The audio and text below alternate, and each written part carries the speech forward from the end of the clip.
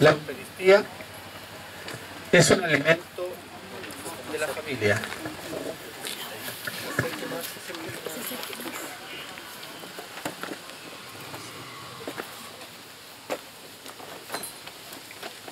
La Eucaristía es el alimento de la familia.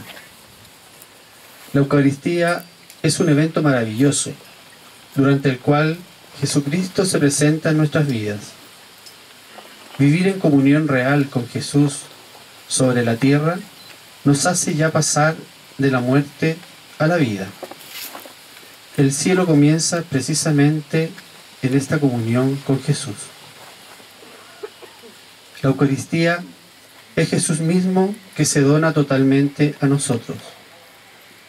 Nutrirnos de Él y vivir en Él mediante la comunión eucarística, si lo hacemos con fe, transforma nuestra vida, la transforma en un don a Dios y en un don a nuestros hermanos.